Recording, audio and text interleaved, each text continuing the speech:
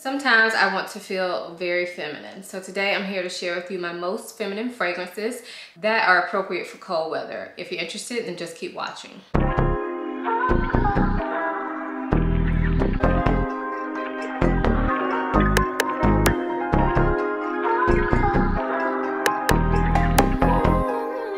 We get into the video, I do want to quickly introduce myself for those of you who may be new here.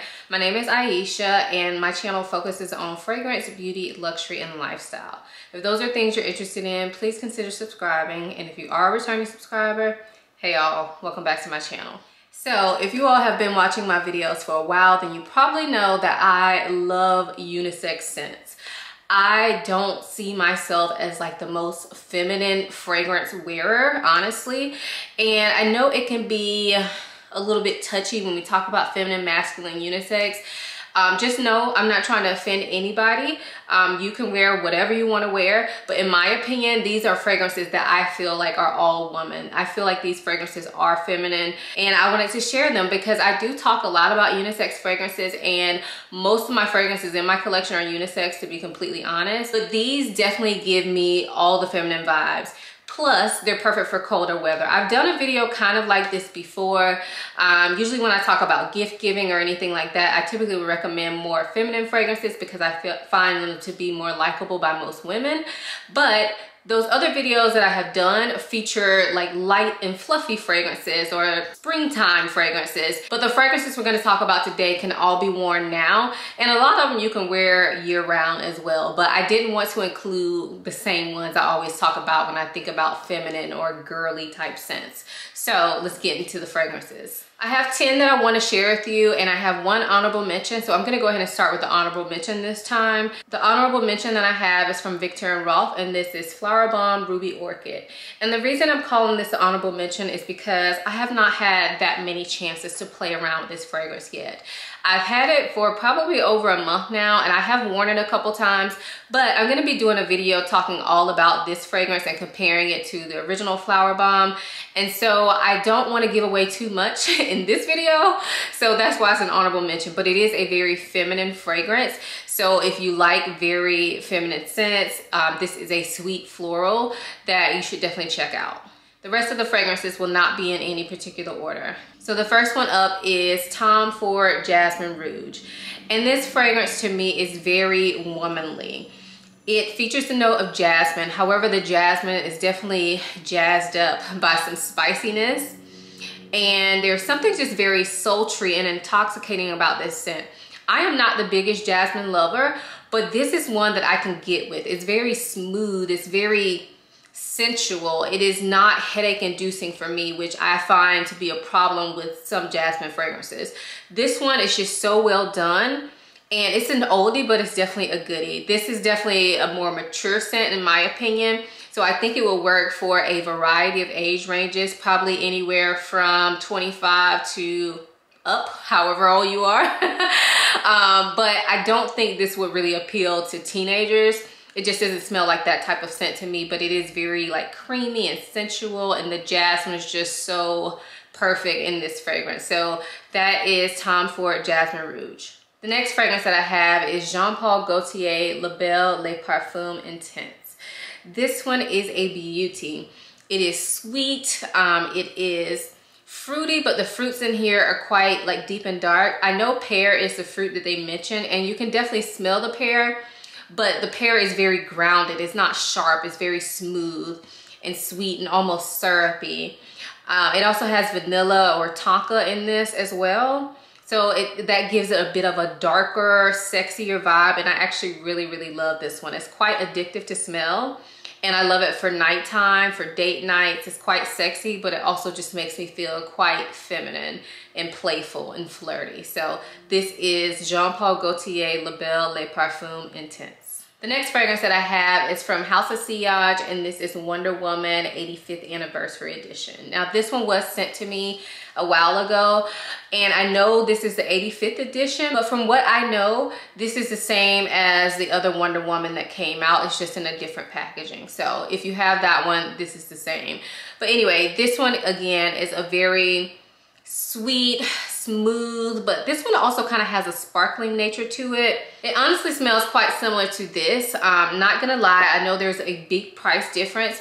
They don't smell exactly the same, but they are definitely in the same family in that it's this syrupy, sweet, a little fruity, but grown up dark fruits and just very likable, very sensual, very feminine in my opinion. So I would definitely recommend this, especially if you're really into Wonder Woman. Um, I'm not in particular, but I love this fragrance nonetheless. Also, this candle is amazing too. They sent that to me as well.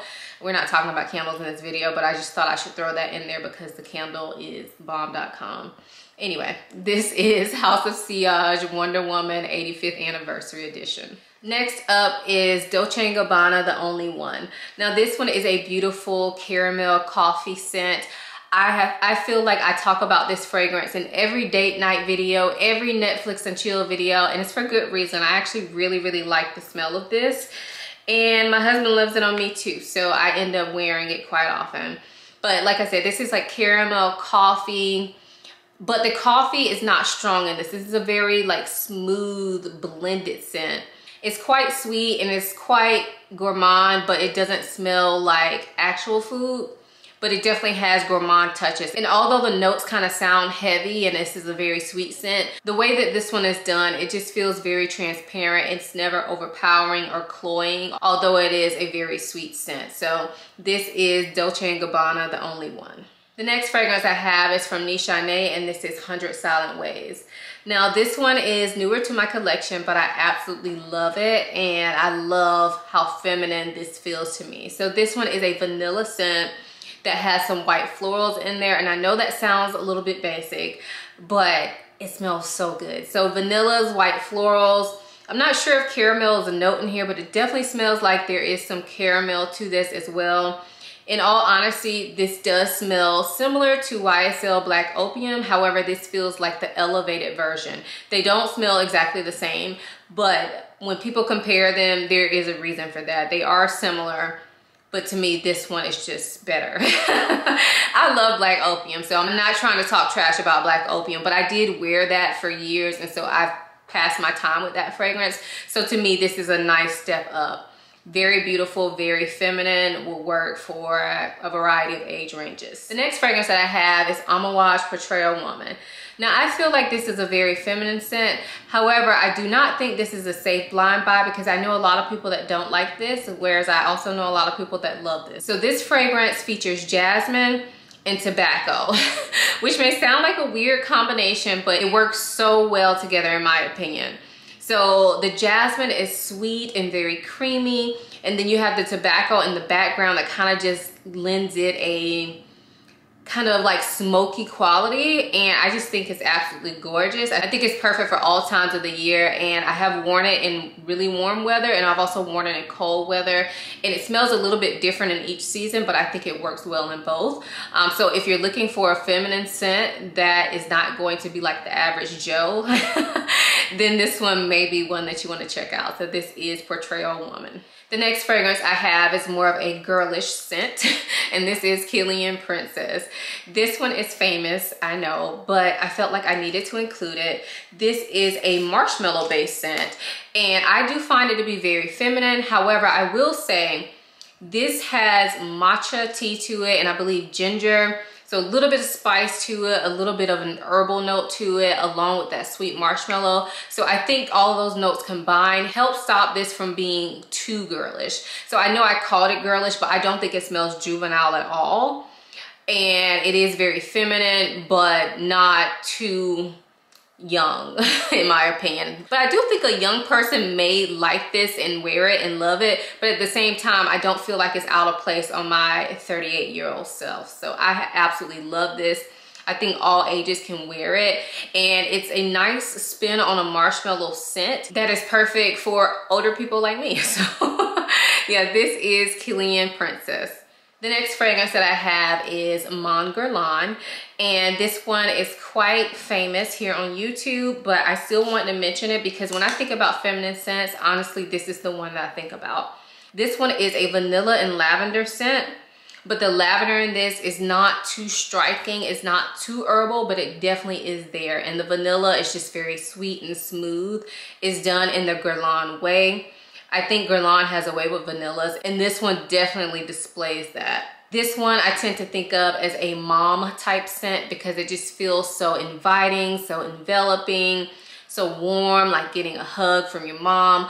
But it's also a little bit sexy for the other side of mom. I love this scent and I think it's perfect for year-round use, but I tend to wear it more during the colder months just because I feel like it gives me that warm, cozy feeling. So that is Mon Guerlain from Guerlain.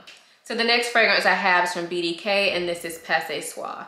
So this fragrance is absolutely beautiful. This is probably the spiciest scent that I'm sharing with you all today, but I still feel like it's very feminine. I feel like it's hard to find very spicy scents that still smell pretty feminine. So the spice that is most present in this to me is the ginger and I happen to love ginger but this is done in a very like feminized way in my opinion.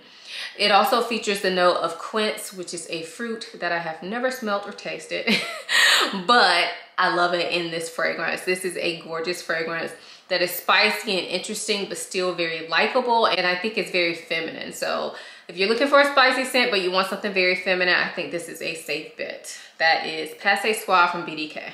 And the last fragrance that I have to share with you has become very popular on YouTube lately but I still wanted to share it because I happen to love it. This is Kayali Vanilla 28 and this is a sweet brown sugar vanilla. This one just smells so good and so yummy without smelling like straight out food and this layers really well and I know it's a vanilla and vanilla can go you know masculine feminine or unisex in my opinion, this one definitely leans way, way more feminine. I think that the sweetness of the brown sugar and just how smooth this is really makes it feel feminine to me. Now this does have a little bit of spice to it, especially when you first spray it. Um, so keep that in mind. It's not all sweet, but I still would classify it as a sweet brown sugar vanilla and I definitely think it's feminine. This makes me feel very pretty, very womanly when I wear it. So that is Kayali Vanilla 28. So those are the fragrances that I wanted to share with you today. These are ones in my collection that I feel are the most feminine and still perfect for cold or cool weather. If you've tried any of the fragrances that I mentioned today, definitely let us know in the comments below what you think of them. What is your go-to fragrance when you want to wear something to make you feel very feminine? I would really love for you guys to share that in the comments below, especially if you have one that is suitable for cold weather. I hope you guys enjoyed this video. If you did, please give it a big thumbs up. Also make sure you subscribe and follow me over on Instagram. I always like to give you guys sneak peeks over there and I'm definitely trying to be more active on that platform. So Follow me if you are not already. So again, I hope you guys enjoyed this video as much as I enjoyed making it. Thanks so much for watching and I'll see you in my next one. Bye.